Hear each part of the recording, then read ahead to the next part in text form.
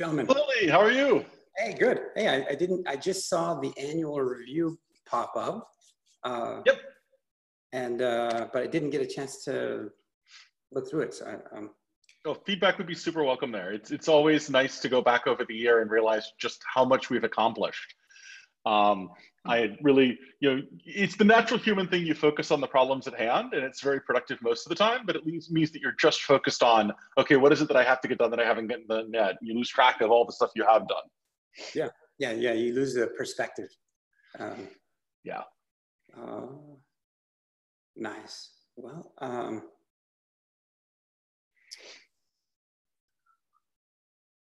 as a side note, as we wait for people to join, I'll say that I consider much like a, a presentation, like a PowerPoint presentation, where people will, where it's like easily possible to overuse animation and have it be distracting.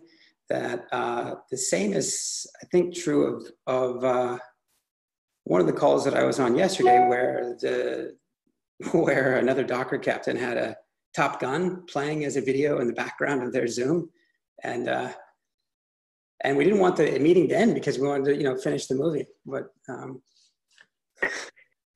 it's just, I think it was overdone. Is the point? I think. Uh, but uh, anyway, the uh, yeah. So hopefully, uh, for the folks representing Kuma today, yeah, there it is. Okay, Nikolai beat it to beat me to it then before I could even. All right. Representing, very good. Cool. All right, fair enough. We, we are a couple minutes after. I anticipate we'll have a few other folks joining. I uh, uh, invited a, a few folks that might uh, that might be interested in today's topics. Uh, a couple of housekeeping items. So one is that this is a, CNCF uh, SIG network call, and so we meet uh, about twice a month. Um, as such, we the meetings are recorded and publicly posted. So um, use swear words as you will. Uh, on that, hopefully everyone has a link to today's meeting minutes. I'll post those in the chat.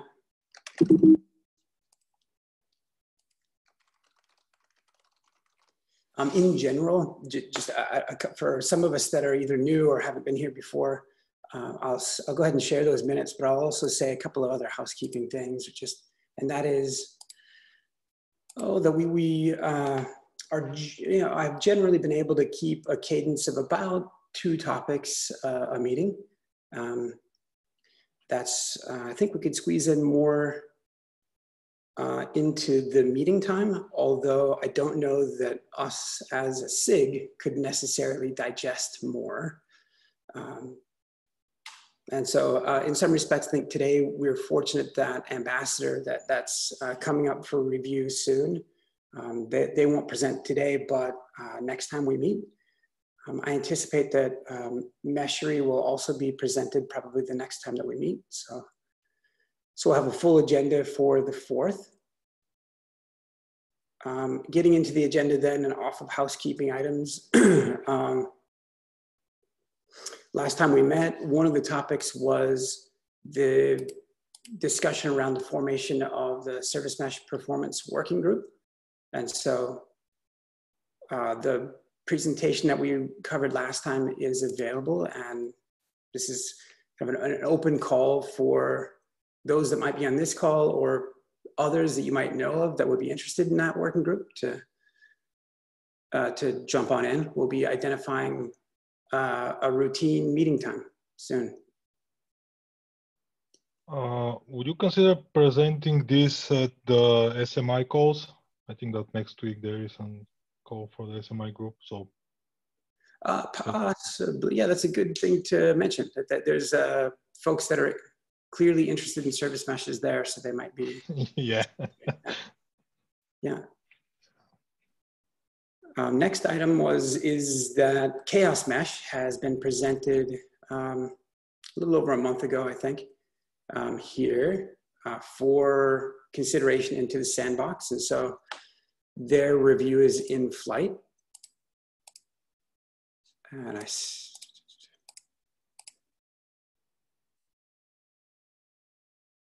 uh, we've spent a healthy amount of time with, uh, well, with that whole team actually. Not, not, not, not everyone, but, but all of the, most of the maintainers. And so um, uh, my hope is, is that we'll have this review done this week for Chaos Mesh. That's a timely review in that Litmus, we've also spent a lot of time with um, Litmus Chaos.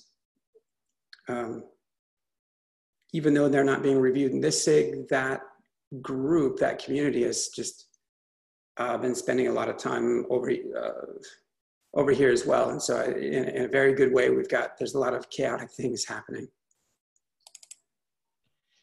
Obviously the term mesh is already very overloaded, like too many things are claiming to be a mesh. Right? So it, it's, it's gotten quite meshy. Meshy, yeah. I'm in good company. This is good. This is great. Oh, what a mesh. And then uh, just as we uh, welcome in, um, well, so Nikolai's been here for some time, but some others that are on the call for the first time. So Marco, good to have you. Uh, and then if you haven't put your name down, feel free to record your attendance. But other than that, um, we've got a fair bit of time on today's agenda for Kuma. And I'm going to stop sharing so, so that uh, you guys can introduce us to the project and uh, tell us what it's all about. Yes, um, thank you, Lee. Uh, my name is Marco. I'm the CTO and co-founder of Kong. I am going to be doing this presentation today. How much time do I have? Let's say over 30 minutes. Like we, there was to be two presentations today and it's cut down to one. So we'll, we'll have ample, ample time.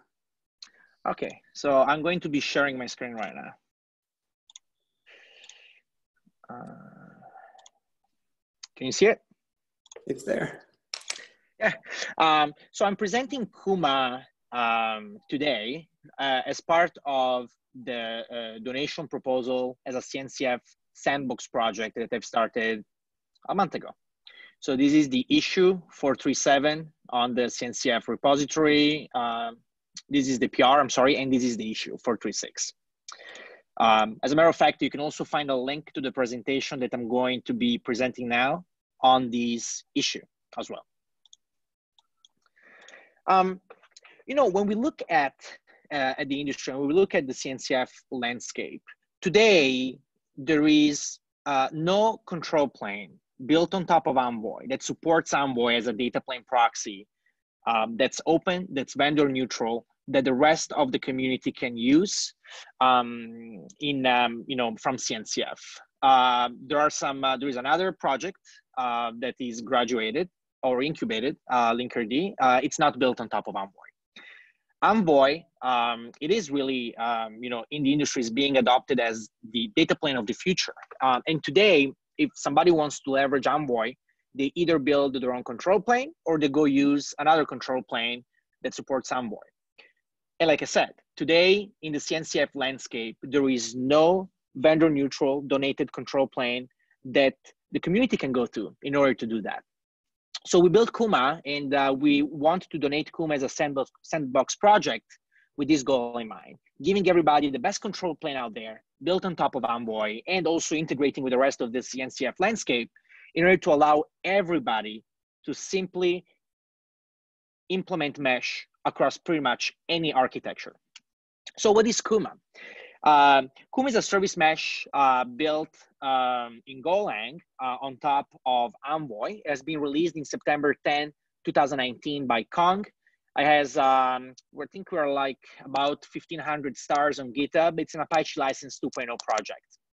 Um, Kuma, it's a very simple project. Uh, it supports Envoy. It, it, implements the XDS API of Envoy, and uh, it supports uh, Envoy out of the box. it, it is one executable. So developers or architects who want to create a service mesh, they will start this one executable that is the Kuma control plane, and then they can go ahead and um, um, then start the data planes. And the data planes will connect with Kuma, and then from there on, Kuma is going to be controlling those data planes. It's written in Golang. it provides a native Envoy integration and really has been built with extensibility in mind. Um, Kuma has uh, came out uh, of Kong with, with the learnings that we have captured from the users and the customers even that, that Kong is working with in pretty much every industry, technology, financial industry, healthcare, and so on and so forth. Um, it, is, it was clear from uh, the service mesh landscape uh, back when Kuma was released that there were some um, some missing aspects that today were not taken care of by any other service mesh out there. So first of all, for many organizations, service mesh it is a journey. Um, organizations are working towards transitioning existing workloads to Kubernetes. So there is this transformation to Kubernetes that's happening, and at the same time, as they do that, and as they increase the service connectivity among their services, they want to be able to take control of that connectivity, right? Abstract that away from the application teams so they can manage it from a central place. Uh, Kuma has been built to support this transition. So Kuma does not support just Kubernetes, but Kuma is a project that supports any architecture and any platform. It can run on virtual machines and it can support virtual machine based workloads as well as it can support Kubernetes based workloads. That's why we call it universal. Um, it can support the organization as they're making this transition to Kubernetes and to containers. And in a way, it simplifies that transition as well. If we can abstract away connectivity from brownfield applications that we want to transform into Kubernetes applications. We're reducing the scope of that transition in the first place because we don't have to manage that connectivity anymore. And so once we do that, effectively Kuma wants to enable an easier migration to Kubernetes. It's easy to use. Service mesh, um, for many users out there, has been a very complicated topic. Uh, service meshes are hard to deploy, they're hard to use, they're hard to extend but it doesn't have to be that way. So we wanted first and foremost to create something that would that was easy to use, um, something that was lightweight, something that was extensible, something that didn't have many moving parts, so it would be easy to deploy, and something that would provide out of the box hooks to allow users to utilize the product, the project in different ways uh, via obviously Kubernetes uh, CRDs, um, to change the state on Kubernetes-based deployments, as well as providing an HTTP API out of the box, providing a CLI out of the box, as well as providing a GUI out of the box um, into the project. Kuma has been built to be simple, has been built to be scalable. Um, when working with uh, different kind of users, uh, what we've learned is that, especially in a large organization, service mesh doesn't just happen out of the box. It, it, like I said, it's a transition. And different teams are going to be moving to service mesh at different times, depending on their specific goals and roadmaps at the time. And so um, one very common way to support the entire organization and all the different lines of businesses and all the different teams that are building these apps, it is to create different meshes so that each team can provide a mesh for their own application and they can uh, each mesh comes with its own dynamic certificate authority but effectively these different teams do not have to coordinate together within the same mesh in order to adopt mesh. Now because this is a single control plane that can start as many meshes as we want uh, kuma is multi-tenant in this uh, case um, from one control plane we can provision as many meshes as we want we can create this connectivity abstraction layer that can, that can cross boundaries, can cross platforms, can cross even Kubernetes namespaces. And then it's up to the architect or to whoever is managing Kuma to determine if they want to merge different meshes together, if it makes sense, or if they want to keep them separate. Financial users in the financial industry um, that we are, uh, you know, that are using Kuma, they really like the idea that if they want to, they have this additional layer of separation uh, between uh, different teams and different applications. Some others, instead, they prefer to have a very large mesh and everything is being deployed within one mesh. The point is that Kuma supports both. So users who want to support Kubernetes, they can do that. Who want to support virtual machines as part of that transition to Kubernetes, they can do that. They want to create one mesh, they can do that. They want to create multiple meshes, they still can do that. Um, in, in, in, this, in this case, Kuma is a very pragmatic service mesh. Um, it, it, and, and by the way, Kuma as a project itself, you know, Kong is not a cloud vendor. Um, the company that built Kuma uh, did not have any agenda other than trying to build the best control plane for service mesh out there. Uh, we don't build this to transition anybody to the cloud. We're not doing this because there is some other hidden agenda into Kong is the Switzerland of connectivity, if you wish. We, we work closely with all the clouds, all the platforms. So we don't have any other agenda other than creating the best product out there. And really, you can uh, you can see this passion and, and this goal uh, within Kuma and the way Kuma has been built. Um, so it's easy to use, it's simple. We provide policies out of the box. Uh, we're going to be releasing uh, documentation. Uh, right now, you know, Kuma is a, a, a nine-month old project, but we want to create documentation to make it even easier to create new policies um, on top of Kuma by perhaps supporting WebAssembly. Um, it's um, horizontally scalable. There's only one moving part. It's multi-tenant. We can create as many meshes as we want. Runs on Kubernetes, runs on virtual machines, runs across pretty much every cloud. It's easy to use. Um, it provides native CRDs that allow anybody to follow Kubernetes best practices if, you, if they want to configure their mesh. Uh, policies can do pretty much anything. Policies can be can be doing traffic control, fault injections, uh, traffic routing, mutual TLS. Uh, mutual TLS comes in different um, forms, in different uh, flavors. Uh, Kuma supports a built-in certificate authority, so we auto-generate out of the box the certificates and the keys uh, for the CA uh, root um, backend, and then we auto-generate a certificate for each data plane proxy. We implement out of the box things like certificate rotation, and of course, all of this is configurable, so the user can configure what certificate authority backend they want to use. They can also provide their own root certificate and key. Uh, and we built this entire system in such a way that it can be extended. So the, uh, by default, the uh, certificates that we create are SPIFFE com compatible, um, but because this backend system is extensible as part of the roadmap, we would like to support, for example, Spire uh, as one of the CA backends that the users can use.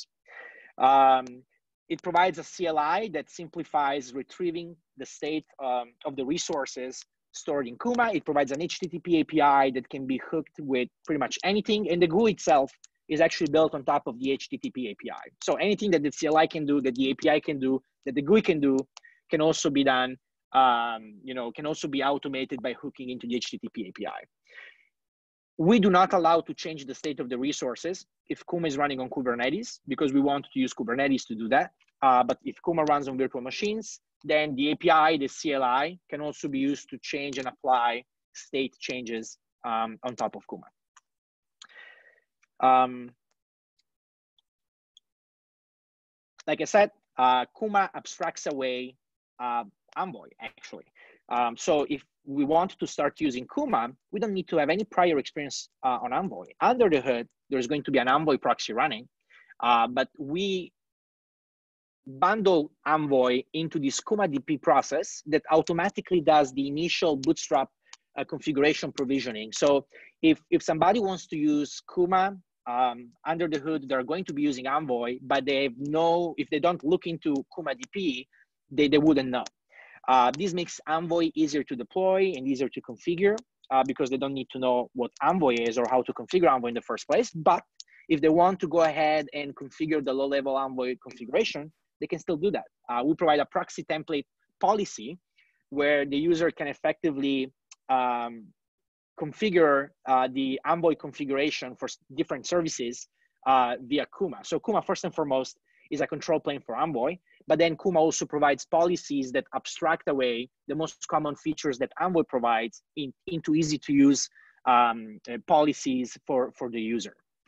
Um, it supports CNI, of course, because we want to be able to deploy Kuma on OpenShift 3.x, 4.x. It supports Kubernetes. We have uh, about nine different distributions that we generate for the community. Uh, we do also, by the way, work with the community. We have bi-weekly community calls. Kuma is an open governance project. Uh, bi-weekly community calls where we get their, gather their feedback and, um, and we collect input from the community. We also have a Slack channel and a development channel that uh, the community can contribute to. Marco, uh, on, yeah. Question, if I might. The, the, and it might just be uh, semantics or the way that I think of a, a distribution. The, the different distributions, um, you know, put out to support those different platforms is uh, what are the primary differences between the distributions? We, we make it easier. So basically, um, Kuma on Kubernetes would uh, use the, the Kuma Docker container, obviously, uh, in order to be able to provision everything. But if you would like to run this on, let's say, uh, Red Hat, uh, I'm sorry, uh, Debian, you would then start the Golang project um, without necessarily having to use a container. So if I go, you know, the best way to, to look into this, if I go on the website, kuma.io, um, and then, you know, we can click on the installation page, uh, we see that on Kubernetes, uh, we provide, so first and foremost, on Kubernetes, we provide an automatic installer that would install Kuma. And then um, you decided to use, for example, Amazon Linux, uh, we would provide the automatic installer would automatically detect that the op underlying operating system and it would install the Kuma CP binary executable on top of that virtual machine.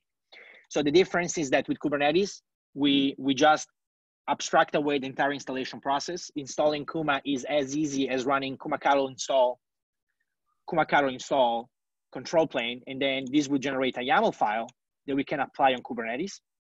Whereas if you're running this somewhere else, you would get an executable, then, then you have to run. Got it. Okay. Yep. But the, pro- but the but the project and the binary is the same. So what, although we make it easier to install Kuma across these different distributions, it's not like there are different flavors of Kuma itself. That's always the same flavor. So basically, every time we release a new version, we generate um, installation instructions for the new version across all of these different distributions. But the, the binary, if you look into the Kubernetes container, or if you look into the Amazon Linux, the binary is always be, it's always the same. That's nice. Oh, very good. Yeah, I think that the reason I was asking is it's, I think that those two concepts, flavors and distributions, are often conflated. And so, um, yeah, was it in fact a different capability or, or but yeah, it's about, uh, it's about installation and kind of fitting into the environment, not, um, yeah. Yeah. Um, with OpenShift, for example, uh, we, we suggest using CNI, right? These, so basically we um, you know, effectively each one of these distributions um, are distributions of the same project, but with instructions that are catered to the specific environment where the user wants to, that the user wants to use. Nice.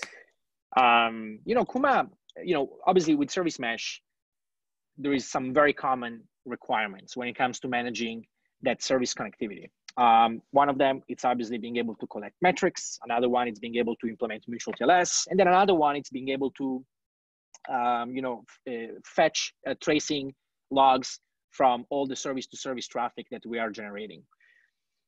Because Kuma wants to make this very simple for the user, uh, we implement also some uh, shortcuts that allow us to install Prometheus and Grafana in order to automatically out of the box capture those metrics. They also implement uh, we implement a, a, helper for installing Jaeger so that we can collect tracing. You know, we, we want to really make the entire service mesh experience extremely easy in order to be able to cater to a largest number, uh, a larger audience when it comes to adopting service mesh. Simplicity is a feature. Um, this is a simple example of a Kubernetes policy. So if I go back on the website, by the way, and I go on policies, we can see that there are some policies. Uh, you know, we generate new policies every time, but some of these policies, for example, like traffic route, can be implemented on Kubernetes by uh, using this very simple configuration. So in this example, every request made by the backend service to the Redis service goes, um, some of that traffic goes to Redis, to the Redis service 5.0 and um, some other part of the traffic goes to service Redis 6.0.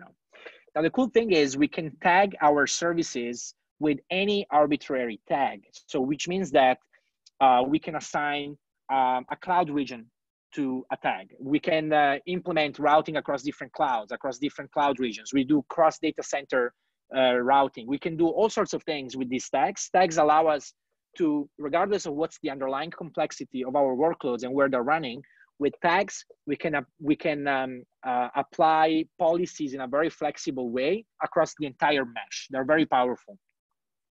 And if we're running a universal, uh, because we want to you know implement a service mesh on top of systems other than kubernetes because perhaps we want to integrate this with an existing mesh running on kubernetes.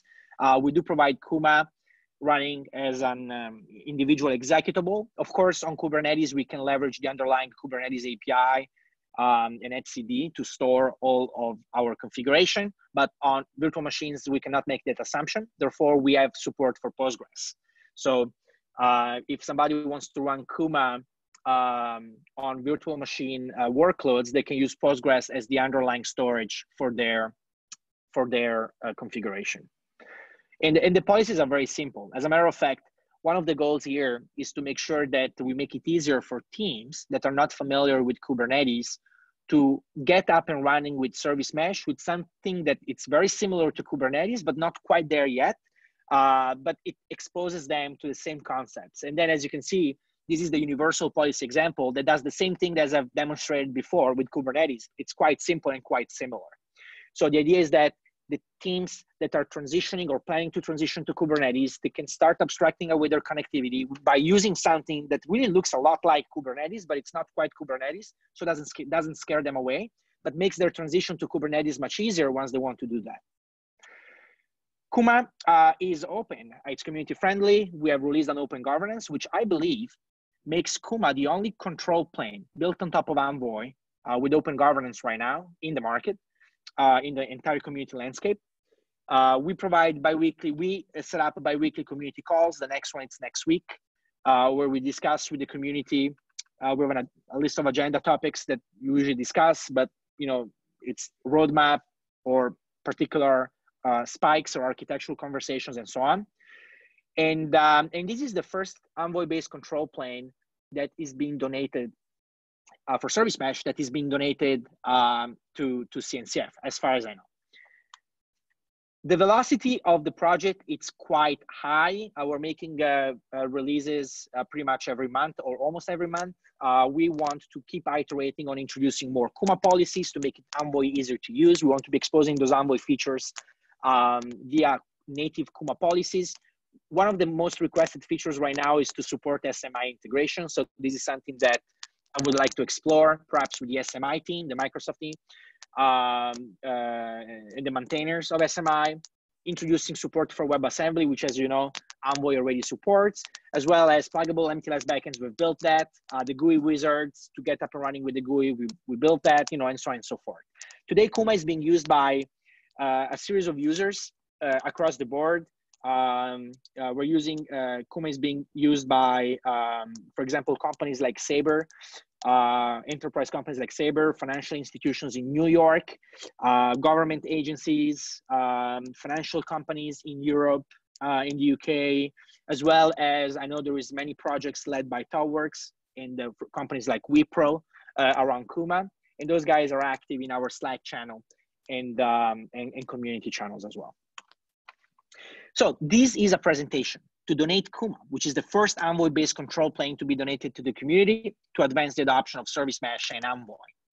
Kuma supports and enables those cloud-native uh, technologies and best practices. Uh, we want to enable the adoption of Kubernetes across the board, and we want to be able to make that transition as easy as possible for those users or organizations that are transitioning to Kubernetes, but they're not there yet.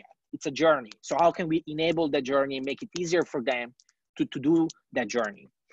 Um, like I said, uh, we built Kuma with no other agenda and, and no other plan other than uh, building the best control plane for service mesh out there. I mean, uh, if, if we look at the features and the roadmap, it's entirely focused on advancing service mesh on advancing the adoption of Envoy and also advancing the adoption of the integrations that we natively provide uh, with Kuma. That includes Prometheus, that includes Jaeger. Uh, we integrate with CNI when it comes to OpenShift, and perhaps there is some other some other ones that that we're integrating with when it comes to our policies.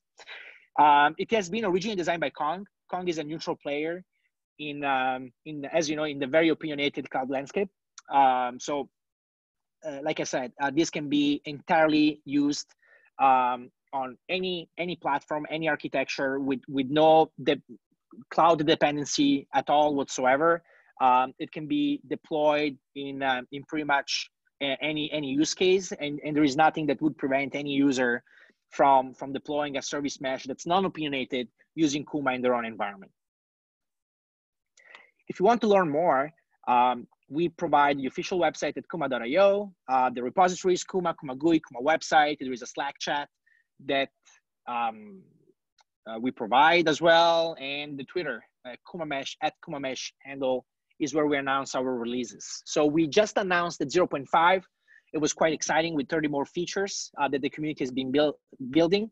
And uh, we're going to be planning to release a 0.1 release uh, sometime this month. We're going to be discussing this in the community call, as well as we plan the next major one to show up sometime in June or July. So. Nice. Oh, very good. Uh, thank you for this, Marco. This is this is nice. I uh, was just uh, trying to pull up the pull request to, on some of this because some of some of these questions answers might be in there, but the oh yep, and it is. So current maintainers are uh, uh, yourself, Ilya, Jacob. Um, all three of you are are at Kong or of Kong, so to speak. Okay. Yeah, so we have some other users that have been contributing um, quite actively into the project. Uh, one of them, for example, comes to ThoughtWorks, and, and those users are in the process uh, they could be potential candidates to be additional maintainers to the project. Uh, we have introduced open governance, which creates a guideline to become a maintainer sometime like uh, three, three weeks ago, four weeks ago. So open governance is new for Kuma, but we did that in preparation for this donation to Sandbox. So we, we, we just have started and we're willing to accept new contributions and new maintainers and the guidelines are out there published for everybody to, to see. Nice, uh, that's good. Uh, here's a here's a question. Um, considering the well, just, all right, here's one you've maybe fielded in the past, but um, so so Envoy, you know, great choice for a proxy uh, underneath the this control plane Kuma. Um, given the experience that you guys have with, with the maintainers have with Nginx, curious as to uh, you know why not Nginx? For the same reason, uh, eh, because we have uh, because we have lots of experience with Nginx, uh, we also know the limitations of the products, and we also know what was the intended use of Nginx and what is the intended use of Envoy. And Envoy really provides a nicer dynamic API, eh, which, as you know, Nginx does not provide, to be able to dynamically change the state of um, on, on how the proxy is going to be managing those network requests, those service requests in, in such a way that Nginx cannot provide without some very messy reloads, you know, of the entire process. Um, also, I am um, a big fan of Envoy. Uh, as a matter of fact, one of the sponsors for the Kuma donation sandbox is Matt Klein. Um, you know, I'm, I'm a big fan of Envoy. Uh, we have in the past also contributed to Envoy, upstream Envoy, uh, and we plan to keep doing so when it comes to Kuma um, quite frankly, we want to use the best the best tool for the job. And, and Envoy has lots of momentum right now. The kind of policies that it provides and the kind of filters that it provides are very suitable for the kind of goals that Kuma and Service Mesh in general want to achieve. Therefore, it felt like a natural fit. Very good. Uh, questions from, from others on the call?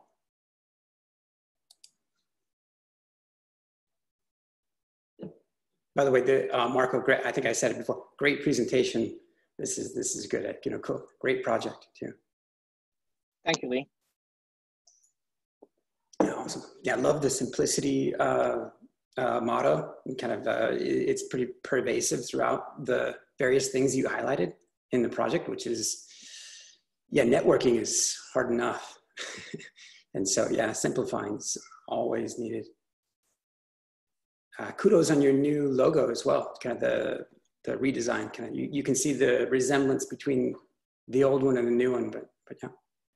Yeah, the old one, uh, the old one, the old logo was uh, a little bit problematic uh, when it came. When it, so the old logo was created very quickly prior to releasing the project uh, in, back in September, and it was very problematic to. It, it was very problematic in different ways, but but basically this, the new one, um, it's more recognizable, um, and it's smoother and it's nicer, and I think it's a better foundation for the long term. Plus, logos uh, are hard. oh my god! Don't tell me. they are. Uh, I, I, didn't come up with, with the logo. Th- thankfully, we have uh, you know somebody else contributed to the design of the logo. Somebody somebody who's more creative than I am. um, but but this new logo was also created uh, in preparation for the donation uh, to CNCF. We did not want uh, so to me, it's very important to clarify this point. Um, I don't want to leverage this donation to CNCF um, as um, as something that would make the old logo and Kong and Inc. the company more recognizable in the marketplace. I wanted to create a distinction, a separation between the old and the new, and so creating a new logo is it has been has been done also to give a, fre- a fresher and better look to Kuma in preparation for the CNCF donation right? So something that basically breaks any association with the past and projects Kuma into the future. So one comment I'll make about the logo, and, and please just take this as a take it or leave it suggestion. Uh, my experience has been the CNCF creative services team is unbelievably good. I mean, you literally see the result right behind my head. Um, and so, not that this is something you do or don't have to do, um, but they, they, are just really, really good. Um, that said, apparently it's particularly stressful for them when you take feedback from 30 or 40 community members at the same time. So you might want to rate limit that. yep, yep. This is um, of course, of course, I can help wrangle um, uh, like the uh, various uh, community feedback pieces around logos as we get there. So, pray continue. Yeah as part of the donation um, you know we, I, I, had a chat with chris uh, chris sent me all the documentation and materials. Obviously we're going to be transferring the trademarks the ips you know all, all of all, all of that all, all that we have to transfer is going to be then uh, part part of uh, ownership of cncf right? So including all of these efforts and so on and so forth. So at that point cncf can do pretty much what they want with it Um, I got, uh, Marco, that was one of the questions that I had had kind of uh, da dangling in the back of my mind, but, but you, you'd spoken, I think, in part to it. And that is, I guess, maybe to phrase a little bit differently, but just um, uh, the association to Kong and, and, maybe the, the business model um, around Kuma, or you know, how, how does it become a, a self-sustaining thing?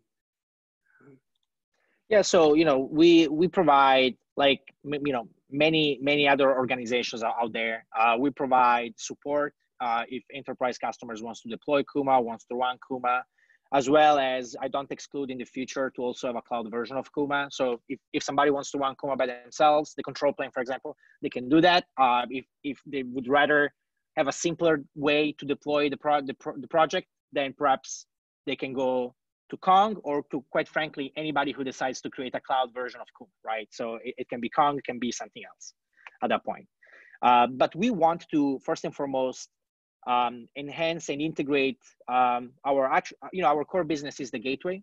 Uh, it's not Kuma, so we want to integrate our our our gateway uh, project and product into a service mesh that's open, that's neutral, that's easy to use, that's agnostic, and that's why we have created Kuma in the first place, and that's why we want to release it we Kong Inc. the company doesn't run a service mesh business. Uh, runs an API management business. That that is our business. So uh, Kuma is is something that, from a business standpoint, provides uh, a vendor neutral integration to uh, to our gateway.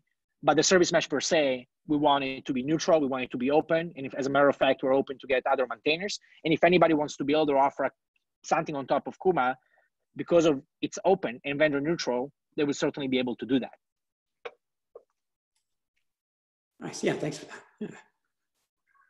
Uh, other... and, and because and because and I wanted to add, just because this is not our business, we have also that that's one of the reasons why there is no other agenda with Kuma uh, that that you can see in the product or by using the product other than creating a service mesh out there that anybody can use. And so um, that's simple, that's agnostic, that's multi-tenant, you know, all things that other service meshes out there do not have.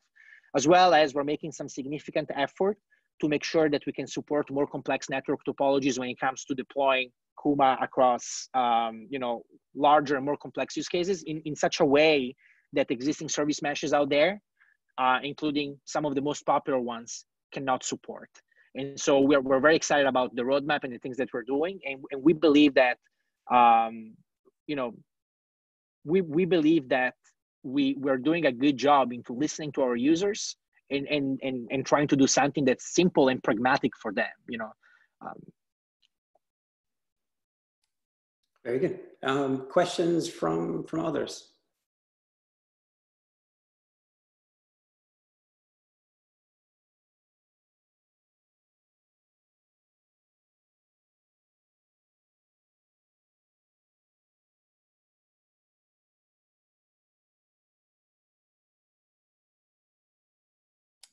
Um, Marco, one of the things that, that you, would mentioned a couple of times are, are users. Um, curious and the feedback that you're um, tuning into and, and is helping drive part of the roadmap for the project. Um, I guess there's kind of two questions in there. One being that you were speaking, you were alluding to and kind of speaking to on one of the last slides, uh, part of the intended roadmap. And, and I thought I'd ask, is that, uh, is that public as well? I mean, it's public in the slides, but I mean, is that available somewhere else? Yeah, so we are making, uh, we're transitioning everything to GitHub, uh, including um, GitHub as a feature like Trello. Um, you know, um, it's called projects. So obviously we're transitioning everything there. And if, if you go on the GitHub, everything is public. Everything is uh, um, available on the repository as well as we discuss roadmap items two times a month in the biweekly community calls. So uh, there is also a Slack chat, chat channel on Kuma called uh, development where uh, folks can suggest or talk about roadmap items that they want to work on. So um, everything is quite open and it's out there. Nice, nice, very good. I see the project boards now. Um, yeah, yeah. So we we started we started with that effort. Of course, there's you know there's lots of work to do and it can always be better, right? But um, but uh, that's but that's exactly the goal. But you guys are uh, yeah, just in, in many different respects. Um, moving right along briskly or just you know um, good looking healthy a healthy shape to the project i guess is what i would say the, the uh, other part of the question that i didn't ask was oh uh, about users and uh, uh, you, the, you, guys you know the project tuning into their feedback curious um, you mentioned uh, thoughtworks or a couple of other um, any i guess the, the question i'm trying to ask is uh, what have you, you know, what are some of those things that you learned from your Kuma users and or are there any kind of references to adopters today? Um, this isn't, some of the, by the way, Marco, some of the questions that I'm uh, tossing toward, toward you and toward the other maintainers are not necessarily strict criteria for the sandbox, but these are just um, you know, general questions. Yeah, but those are very good questions. I mean, the, the, the uh, idea that we have, uh, you know, of, of Kuma in CNCF, it's not of a project that stops at Sandbox, but keeps go, growing from there. So um, as a, in my slides, you can imagine, uh, so I, I, presented my slides and, you know, obviously there is a quote from TELUS, uh, which is the largest telecommunication company in, in Canada. We're also working on a community use case uh, with uh, an enterprise uh, ticketing company that's been using Kuma to fundamentally transform how they're transitioning to microservices and Kubernetes. And we are actually um, um, going to be releasing that community case study uh, on the website. So we're, you know, for some of for some of these uh, case studies, uh, we have to ask approval, we can draft them out, and then we have to ask approval to their legal team if they want us to publish them. If not, we are going to just publish them in an anonymized form. But basically, uh, we're going to be creating more of these case studies so that other users can learn how they are using Kuma. And, and fundamentally, you know, one of the biggest feedbacks that we hear is fine, you know, we want to create a service mesh, but service mesh is a pattern. It's not an implementation. So why couldn't we implement a service mesh that can span across the entire org if we wanted to do so, right? And that's a very valid question. It doesn't have to be Kubernetes only. As a matter of fact, there's lots of value in making a service mesh that's as big as, as it can be across different lines of businesses or different, you know, teams within the organization. And as we do that, one of the other questions is, how do we do that without having to create a hundred clusters of service mesh, but perhaps having everything into, into one place. If you know, if you use other service mesh control planes, you have to create a new cluster for each service mesh that you want to support. Uh, if you want to support different teams or different applications with different service meshes at different times. Whereas with Kuma, we capture that feedback and in Kuma, we implement multi-tenancy. So we have this concept of a mesh object. You can create as many meshes as you want, and each one of them has its own certificate authority backend that the user can configure, but effectively they're being provisioned different data plane proxy certificates, which for all intents and purposes makes them become different meshes. And the policies that we apply, traffic permission, traffic routing, traffic logging, traffic tracing, you name it, all of those policies can also be applied um, can also be applied on a per mesh basis. So it's, it's it's difficult to understate how important what you just said is, um, because what what so many people have missed, not in all kinds of spaces, but this is one, is the fact that there is not going to be a single point of administrative control. That's that's silly. What you're going to have is a whole bunch of points of administrative control uh, that are going to need to be able to operate independent of one another. Yeah, and, and, this decision has been made quite early um, into the journey of Kuma because we didn't have to learn it. We knew that that's exactly what they wanted uh, because they were telling us, you know, if you're building a service mesh, build it in such a way that the operational cost of supporting the entire org doesn't, it's all of one, not all of n. The more and n equals the teams or the meshes or the applications that we want to support. Um, therefore, we believe that with Kuma, we made something that's extremely easy to operate um, and can scale quite well across pretty much the entire organization uh, in, a, in a very nicely way, clean way. And plus, you know, because everything is into one, at the end of the day, all of this is being provided by one cluster of Kuma, one control plane.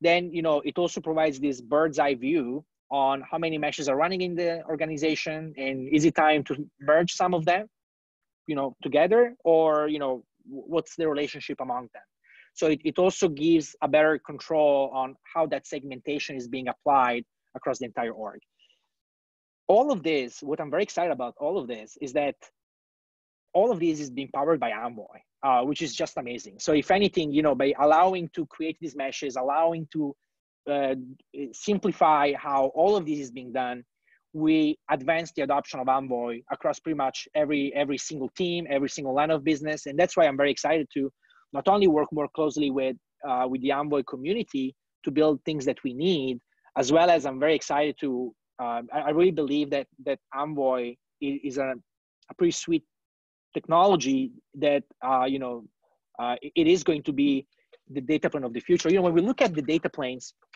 and when we look at anything in life, uh, and we ask ourselves, is the best time of this thing ahead of us or in the past? And when I look at Envoy, the answer to that question is the best times are yet to come, right? And so I'm very excited about Envoy and, and what and what the Envoy community has been building. And so with Kuma and Envoy, I want to energize this cooperation uh, to promote a better adoption of Envoy across the board.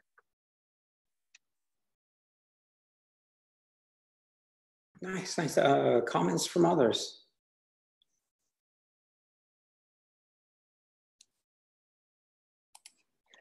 Plus, I have to say, Kuma comes with no drama attached. This is a no drama project. Uh, and, and I know that in our industry, we, we, we have enough of that already. Like I said, this is vendor neutral. Um, there's no other agenda rather than building the best service mesh control plane um, out there. It supports Envoy. It comes with no drama. Uh, there is no there is no strategic plan other than creating the best product. Product obsession is is uh, one one of the requirements for any maintainer in Kuma, and demonstrate that product obsession uh, over time, right? With with continuous improvements and and, and contributions. So, so so so if there's no drama, does that mean you're promising comedy? Excuse me. if there's no drama, does that mean that you're promising comedy? no, no. Uh, I'm, I'm, I'm, prom- I'm promising a, um, a very collaborative environment that's that uh, it, it's it's not driven by anything other than let let's do something that's nice and that the entire world can use. Uh, very yep. product oriented and product centric. It doesn't hook into any greater plan, but but that. I mean, it's really that's what it is. We're a bunch of people doing something that we like doing, working on something that we like working on, uh, and, and we find we find pride into uh, the adoption that Envoy has within the community and the user base, and, and we're you know we, we want to keep it that way. Nice. Mm-hmm.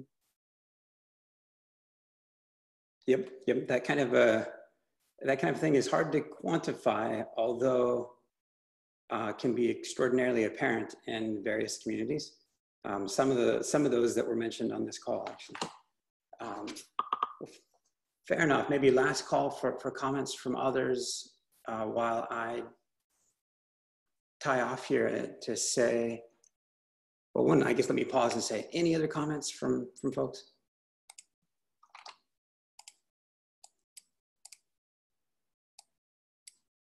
Nice. Uh,